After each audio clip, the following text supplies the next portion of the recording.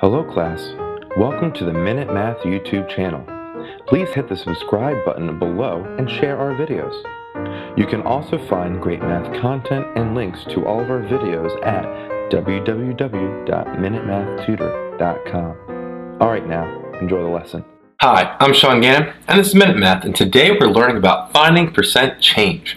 We're going to find each percent change, round to the nearest tenth of a percent, and state if it's an increase or a decrease. So, if I was given this problem from 79 to 94, okay, obviously that this is an increase. We got that noted. Now, difference between the two numbers, 94 minus 79. Okay, subtract the two and we get a 15 right there. Take that number 15, divide it by the first number 79, and we get the decimal here of 0.1898734. All right, now write that as a percent. Decimal place, two spots.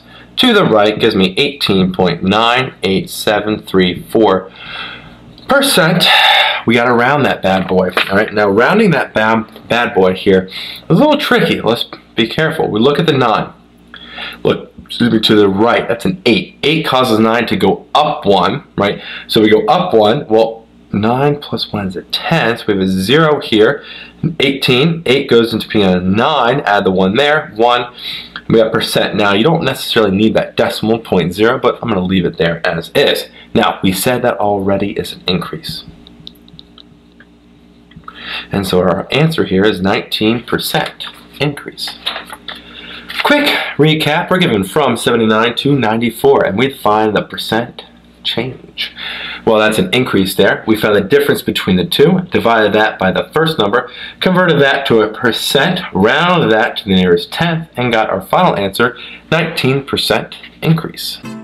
Hi, I'm Sean Gannon, the creator of Minute Math.